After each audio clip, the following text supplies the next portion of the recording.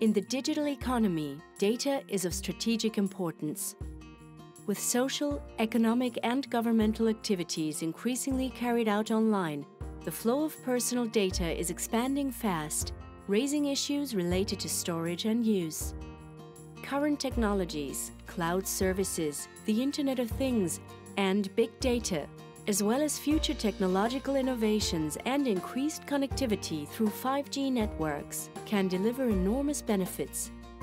But they also make it more urgent to address various concerns over data and privacy. The challenge for data protection regimes is in managing the risks and addressing the concerns without restricting or eliminating the potential benefits.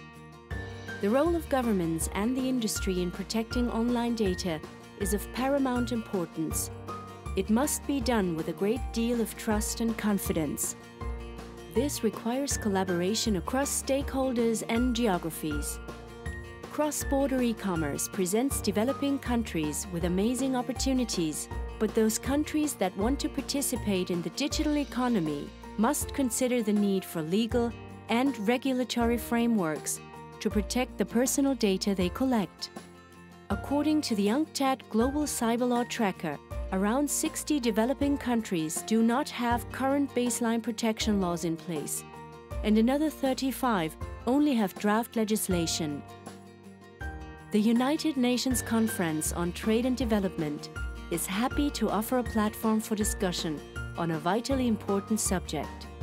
As industry players and consumers, as well as governments and international organizations, you will have the opportunity to present your perspectives, outline recent developments, current practices, and consider relevant frameworks. We will discuss how various challenges, including compliance, localization, and interoperability, as well as opportunities related to data protection and privacy, affect the potential for cross-border trade, especially in the context of developing countries.